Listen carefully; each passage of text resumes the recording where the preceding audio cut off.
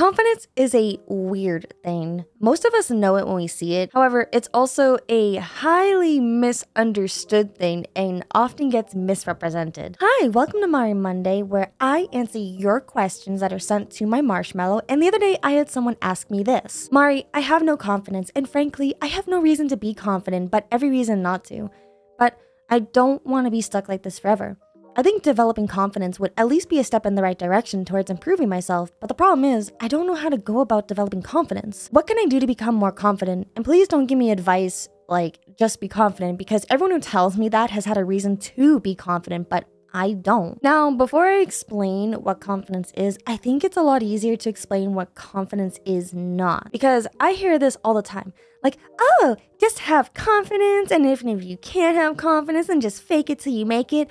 But Here's the thing there is no making it. Confidence is not a mountain of gold that you just reach one day, after which, you know, you'll just walk around being uh, a confident 100% of the time. Like, no, that's just not how it works. I feel like the whole faking it till you make it is kind of like a very overly simplified way on how you look at confidence. Not saying that it's terrible advice, but it's typically just, it is more on the generic side of advice where people will just say, you know, this is what you got to do, but then they don't really explain how you do it. It's like a turn of a phrase, so to say. So, what does confidence actually mean? Well, I feel like confidence is not something that you just become. It's something that you feel and you experience once you learn more about yourself. For example, what do you like? What don't you like? What are you going to accept from others and how they treat you? What are you not going to accept from others and how they treat you. The more you understand yourself and what you represent, then the more confident you will become. And now you might be thinking, okay, well, how does that make me more confident, Mari? I already know myself, except you don't. The person who is currently watching this video is different than the person you actually are. You say you have every reason not to be confident, and that tells me you're living in a false reality, Anon, because who are you? Right now, you don't sound like the real you. This sounds like the fake you trying to make you have this false sense of reality, like you're not good enough. And I read up on a theory about this the other day that I'm to share with you, and I hope that this helps you. So please take what resonates with you and leave the rest behind. And what I had read was that Right now, you are just built up from a bunch of different beliefs that either your parents, your friends, your boss, your teacher, society, all of that has installed into your mind. And everything that they had told you up until now is your reality. This is your reality. Or is it? Your whole life, your friends, family, teachers, and even loved ones have been straight up lying to you this entire time. Because think about it are you this really lazy, inconsiderate, unconfident person everyone else made you out to be? You're saying you have every reason not to be confident, but who gave you those reasons? Is that really the stuff that you truly believe, or is that just what everyone else taught you to believe? These thoughts running through your mind are not your thoughts. They are other people's thoughts clouding your mind. They want to keep you from the truth, from you, and make you constantly run away from reality because here's the thing you and your reality are just the result of what you have accepted as the truth. And the actual truth that everyone is trying to keep away from you from realizing is that there is no self. Like, there's no definition of like who you are as a person other than what you define yourself. Because in reality, there is no such thing as like self. Beauty standards, shitty corpo jobs, unjustful social interactions, all this is shaped by the reality that we accepted as the truth. And a lot of this is more subconscious too, but what's amazing about this concept that I had read about is that once you understand and accept that there is no such thing as like a self, then you can change your reality and become the person you were always meant to be. And that sounds like a bunch of mumbo jumbo, spiritual, whatever stuff, but it's actually very interesting when you kind of take a moment to like think about what a self is. I'm sure you probably have heard of the phrase, I think, therefore I am, and that whole like concept of like, if I think, then I must exist. But how your reality is and your perspective is very different from how other people perceive you and what their reality is around. And the only real way we can like make sure that we actually exist is leaving some kind of trail in some way, whether that's a paper trail or digital trail, um, an offspring trail, you know, a flesh trail, so to say. You don't become confident. You represent confidence because you are confident. This is not the same as faking it until you make it, by the way. Although for some people, that phrase can be helpful to understand this concept of self, even though like self isn't really like a thing. But basically, confidence is just a state of mind, just like happiness, sadness, anger, and you can attain it by understanding yourself, like your triggers, what you want in life, pretty much getting more clarity on what your goals and wishes are, and making sure that these are things you actually want and not just stuff that people have been telling you all your life on what you should be. Because there is no such thing as a self, right? You don't need to be this somebody that everyone else is telling you to be. You can be what you want to be. I'm telling you, Anon, to shift your perspective a little bit on your thoughts and your behaviors and becoming more observant of what is causing these thoughts and behaviors to happen. Because right now, it doesn't sound like your thoughts and behaviors are serving you in any way, shape, or form. In fact, it's hindering you from living a life that would be more fulfilling. It's like you're not allowing yourself to live the life that you deserve to live because somebody else told you to. And you don't need to have your life be controlled by others. You can control your own life. And a really good way to start doing this and kind of shifting your perspective a little bit is to start out small by acknowledging and celebrating the wins that you have in life, which I know can be really hard to figure out. It's not easy, especially when you've been told your whole life that you're either not good enough or that you could have done a better job or something as like, oh, like this isn't what I wanted. But something that I kind of learned when I was going through my whole journey this year is that it's not your job to make someone else feel better about their perception of you because you can't change someone's perspective of you. People are going to feel a certain way. And it's not your job to change that. The only thing that you can control is how you react towards what they're saying and doing and reacting to however it is you're feeling, you can control the things that are happening to you. You can't control things that are happening to others. And with that being said, other people cannot control you. They don't have it's it's not their life. You know, it's your life. I remember when I first read about this and it was really difficult for me to understand how self doesn't exist and that I'm a nobody when everybody wants to be a somebody and blah, blah, blah, blah. Here's an example that might help you understand this concept a bit better because this is how I started having more confidence personally. I have always been yelled at for every little thing I do growing up because everyone around me just couldn't understand my logic for doing things a certain way.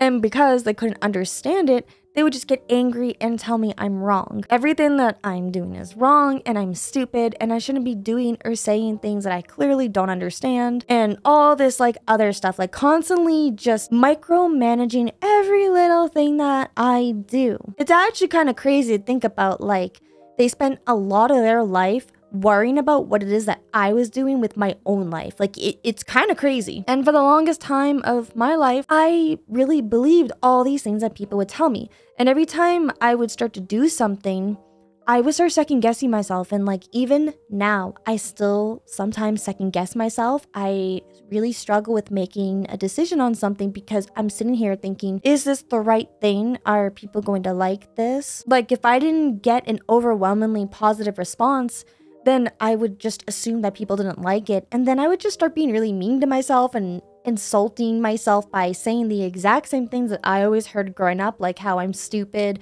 and how I can't do anything right and how, like, why can't I just be normal? Like, I used to say these things all the time. And here's the thing about that. Remember what I said a moment ago that those people couldn't understand my logic and therefore they got mad and started yelling at me? Well, what if, like, everything that I had done wasn't actually wrong. Maybe the stuff that I did was right. I would get the same results as other people, but the methods in which I would get those results were was what people couldn't understand and they didn't like it. So just because I did things differently than most people they didn't like it, they had a problem with that. It bothered them so much that they went out of their way to put me down. And this set me up to have unrealistic expectations of myself, trying to live a life with what I thought others were expecting of me. And the truth is, I'm not a mind reader.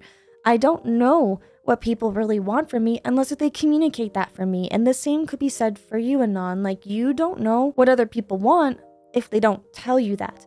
And even if that's the case, you're still not obligated to meet that expectation. What matters at the end of the day is the expectations that you want and how you can go out to set those expectations for yourself. Because again, you can't control anybody and no one can control you. For the longest time, I felt unappreciated because I'm constantly just living in fear, trying to guess what other people want from me. And once I started recognizing this pattern of behavior and how just unhelpful these thoughts were, and that these thoughts aren't actually what I truly believed about myself, well, that's when I started being able to notice my like small wins.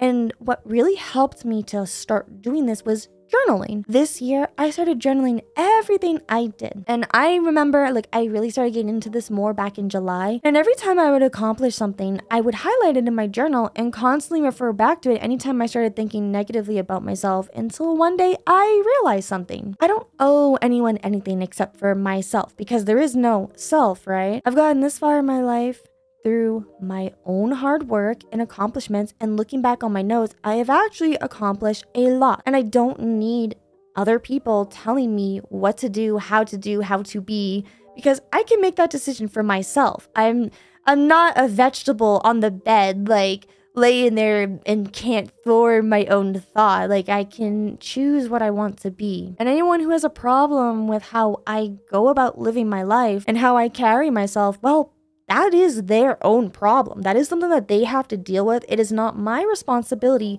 or my problem to deal with other people's problems. Like, unless if I'm being paid to problem solve something, then I don't need to worry about it. I don't need to focus on any of that kind of stuff, right? Because that's not my job. It's not something that I need to fix or even give any extra attention to. That is what confidence represents to me. A confident person is someone who does not let anyone prevent them from living their life as their own authentic person and doesn't let anyone else define who they are. This is the reality that I believe in. So, Anon, I think the better question that you should be asking yourself is what does confidence mean to you? However, you define confidence will, will be based on your own personal experiences, your own upbringing, and you have every right to be the person you were meant to be and want to be. And again, start by celebrating your small wins. I know it's hard to kind of see what those good, positive qualities are. And I know some people like to say, oh, you should ask other people what your good, positive qualities are. If that does help you, maybe that can be something that you write down, like asking people what are some good things about yourself, like what are things that they like about you. And then you write that stuff down and kind of like keep track on yourself on what it is you're doing and thinking. Every time you start to think about a negative thought, write that down so that way you can kind of look at it and ask yourself, is this really how I feel? Or is this because maybe at some point in my life, this is what someone told me and it made me feel bad? Once you start to realize that, like, a lot of these feelings that you're feeling are coming from just being told, like, things that are just not true, it helps for you to let those feelings go and to move on in the sense of like saying, hey, you know, that really sucked, but that's not who I am as a person and it doesn't define me who I am as a person. A confident person will talk to themselves with confidence and not let other people's negative perspective filter their view on themselves as a person. One suggestion I have for you is to start talking to yourself more positively. Like, I literally want you to go into the mirror, look at yourself, and say, like, you got this. If that starts to help you, I want you to say things like, you got this. I believe in myself. I am confident in my abilities. I am enough. I always try my best. I am confident. This can be your reality, but you have to let go of this self that's been holding you back all these years because you are allowed to exist as a confident person and no one will ever take that away from you unless if you give them that power. So don't give people the power to define who you are as a person. You have the power to define who you are as a person. I hope that answers your question, Anon, and this video can be the start of your journey to becoming the person you were always meant to be. You do have a reason to become confident and start off with acknowledging the fact that you do have good qualities about yourself. Thanks for tuning in for this week's Mari Monday, and please feel free to submit a question for future video. And lastly, I want you to remember that everything will remind you of something. Bye!